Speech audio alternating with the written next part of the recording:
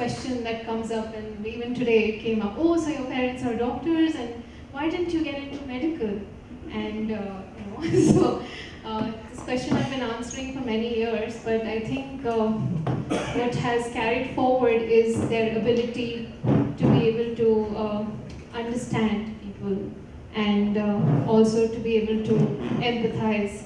I've seen my mom waking up, uh, she's a gynecologist, waking up at 2 a.m. Sometimes there's a delivery that's happening, so you know, all those things have somehow, um, you know, been a part of my growing up years, and that has helped me uh, become a more sensitive person. So much sensitive that you know sometimes my parents would be like oh but you know you, if you see blood you have to be strong because you know you can't be like oh you know uh, that person is crying because you know you have to be stronger to see their pain also but i think uh, that sensitivity has helped me become who i am today and also helped me become a designer and uh, of course uh, you know, seeing my parents, I was also keen on to pursuing medical, but I'm glad to say that I'm in the design profession, which requires you to be more sensitive, more empathetic, and also more understanding towards others' needs. So uh, here I am today uh, presenting to you some of my experiences, and although these experiences are related to the work that I'm doing at SAP, but uh, I think all of us could relate to it because we are in product teams, we are in big IT companies, some of us also have our own startups, and some of you are entrepreneurs. So I think we also face similar challenges, and uh, I hope that you know my talk helps you uh, connect with it and also helps you understand how we could kind of deal with those challenges. So, um, I just, uh, how many of you, I'm just deviating a little bit from the topic, but how many of you have uh, followed the Olympics for 2016? Can you please raise your hands? Okay, great. So, so this is uh, the excitement that just got over around uh, all the events, and what we really saw was uh, a testimony of great effort and passion by Indian sportswomen and of course, there were a lot of prejudices and uh, a lot of things, but they stood tall against it. And these are some of the images of their grit and glory, I would say. Uh, and uh, of course, this is a great inspiration for women, not only in design, but in all walks of life. So uh, here I am, uh, just sharing some of these images. But uh, what we take from this is how it got translated into the design journey. So the preparations and hard work that have gone over the years and motivation to break the record was even higher at the Olympics. And uh, of course, uh, what we see here is uh, a lot of uh, effort that had gone into it. But uh, in where I work in custom development, uh, it's really tough because it's not like a product scenario where we have huge time uh, cycles. And of course there is uh, advantages to that where you know we have uh, enough time to do user research and all of follow the exact process. But in custom development I see it as a marathon. Running a marathon is like a 100 meter race and you have to get prepared for it. And all eyes are on that so what happens really is like it has that enthusiastic start and also a dramatic finish in a very short span of time so uh, taking this analogy forward uh, at custom development, we learned that in uh, shorter design sprints with the same excitement and rigor, uh, we could open doors to collaborate with customers on further requirements. So what exactly do I mean by the design sprint or you know within SAP we also call it sprint zero. Uh, so the design sprint is a, is a mini project in itself which uh, delivers tangible results within a short period of time. So what we have is like a, you know, the execution plan that has to be quick and collaborative in nature and which helps uh, our customers envision the solution that much before it gets developed and also kind of gives them confidence that their expectations would be met and their vision would be converted into reality. So uh, basically this is where the design uh, sprint kind of fits in So we have the UX concept and design, which we call the design sprint, and then we have the following sprints, sprint one, two, three, carried forward. I'm sure most of you who are in the agile mode understand the sprint cycle. And uh, so what really happens is that uh, a small engagement that is encapsulated in such a manner helps uh, build customer trust, also assist customers to take conscious decisions while spending their money and also reduces risks. And what benefits is that you know we have tangible results. Also, we get a better understanding of requirements and build deliverables, which can further be consumed by the following up custom development project. So our focus really is individual interactions, uh, individuals and interactions over processes and tools, uh, a working software or prototype over comprehensive documentation, customer collaboration over, con over uh, contract negotiations, and responding to change over following a plan. So this is the shift uh, that we have made. And uh, of course, uh, this is how it typically looks like, but it's uh, generally following the same cycle of design, but in a shorter cycle, I would say, where you know we can speed up the innovation, we can issue discovery, interview, and uh, based on a workshop mode, and also build a quick prototype, which leads to finally a specification and backlog, which gets uh, used up in the sprint, upcoming sprint. So uh, where this actually helps us uh, deliver quick, tangible results in a in a short time, in a close collaboration, and also it helps us create a joint understanding.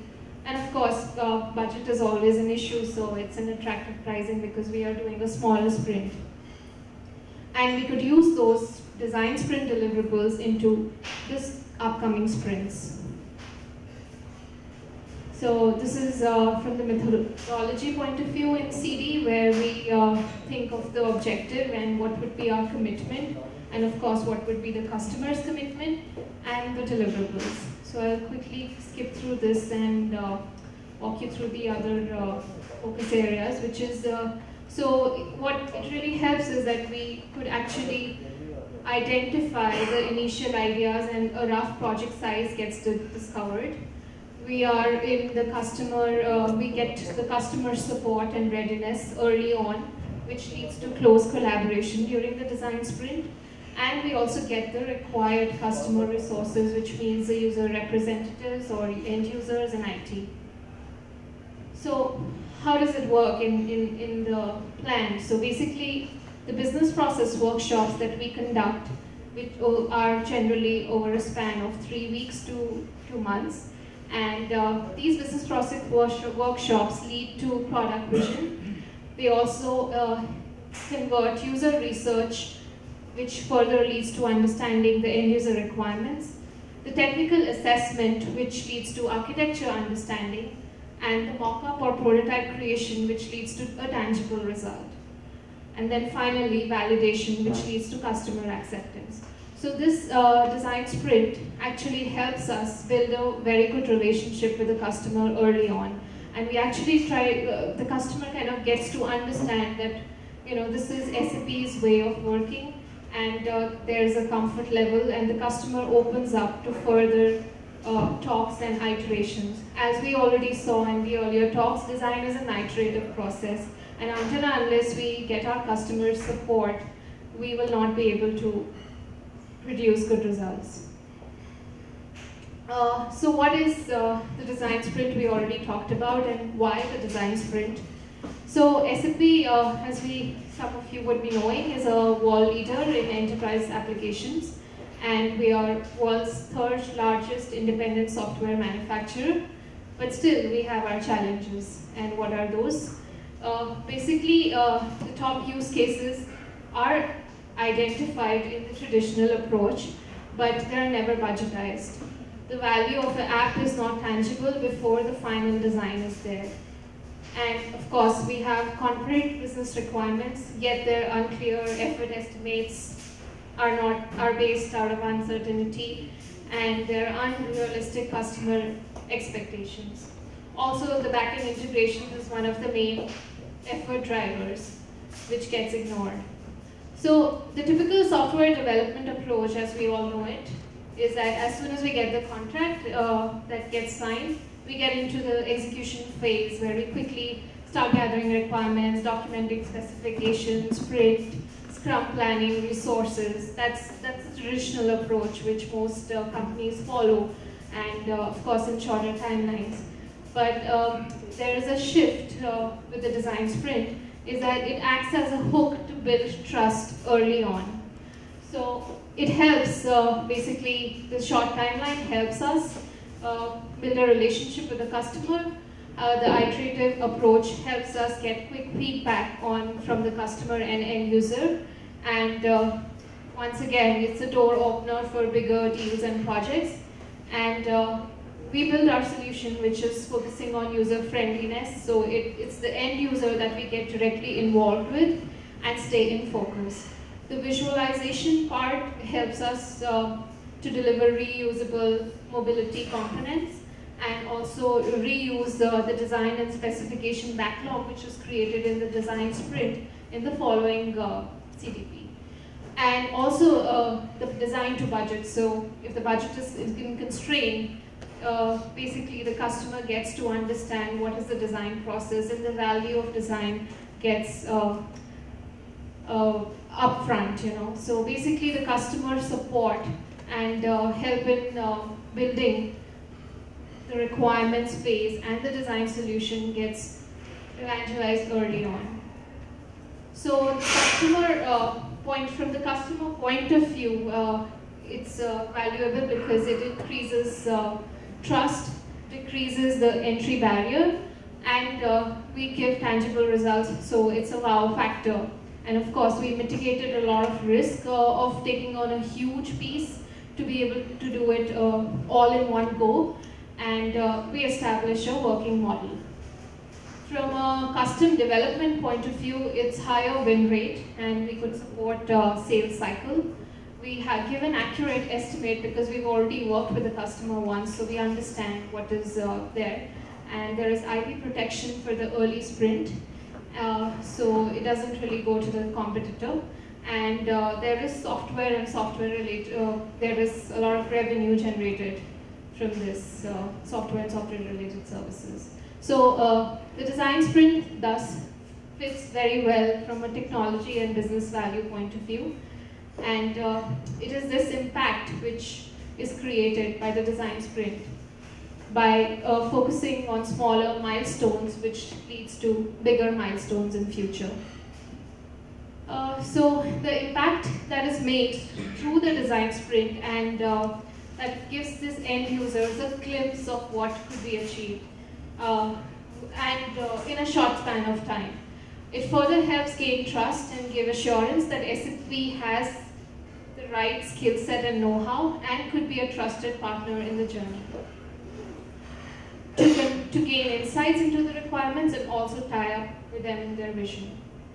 So these are some of the deliverables which come out of this, uh, the design sprint, which is a vision uh, and scope document, and initial product backlog, as well as a user experience or a prototype, and then a final financial proposal for the next offer.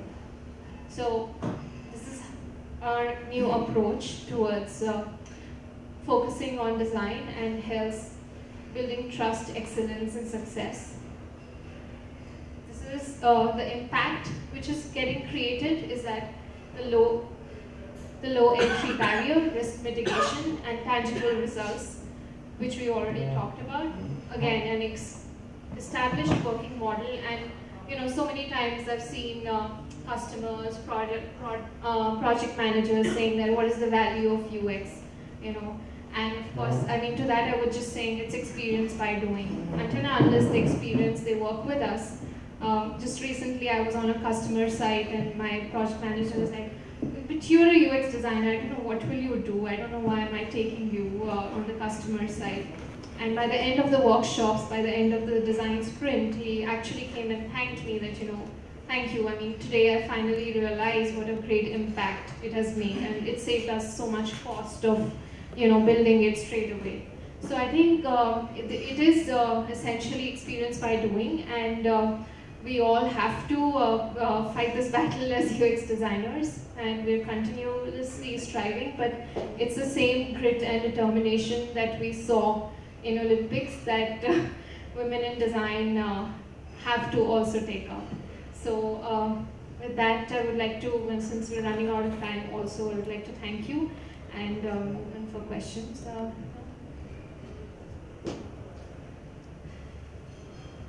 any questions? Uh, so are there things that the design sprint cannot solve? Cannot solve. So uh, see, design sprint is focusing on smaller tasks, so we're not taking the whole chunk altogether. So yes, it's not solving all the problems in one go. And that's the whole idea, that we are not going to solve all the problems in one go. We're just going to give the customer a flavor of what it is to get one problem solved at a time. And once the customer is happy, those deliverables get anyways converted into the project. And uh, we obviously have continuous workshops later on. So, hope that answers. Please go ahead. Whether research work is included in the sprint or we do a full research and then start sprint design? So uh, the research phase is included in the design sprint. Uh, there was one slide which I showed, uh, I'll just go back to it maybe. So that was the how part. Yeah. So we have we break down? in the design sprint we are focusing. Uh, that's a good question because uh, you know we definitely are not covering all the research part in one go because as I said we we're limited on the time and it's a very short design sprint. So, uh, but yes, it helps in a way because we are focusing on, so we understand and prioritize. So it's called prioritizing backlogs and when we are trying to understand user requirements. So we definitely get an overview and from that we prioritize that in the design sprint we're taking these. And in the upcoming sprints, in the upcoming engagements, we'll be taking on to those. So at least uh, the customer gets to understand the process and the value of it, uh, which is otherwise missing. Otherwise, everything's take, you know you should only take in that much that you can chew. So it's like that. So, But sometimes we have to get go back and do the uh, get uh, if I get a uh, for in further research, I get points where I need to go back and change my design to for the older one. So how do we deal situation? yeah. So if you have to change the see in any case, you know you will be at least for the design sprint in the workshop mode. It's like a war room situation where you're actually there understanding, creating, and coming back with validated stuff. So it's not that you know you close everything there and then. And what comes up is the next new thing. So sorry, just one one minute.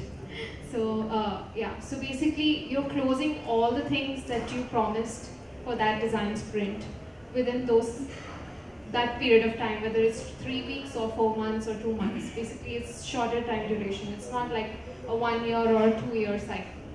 And what comes up next is the next phase of workshops. So basically, this is like sprint zero. You could say it's like preparing for a race, you know.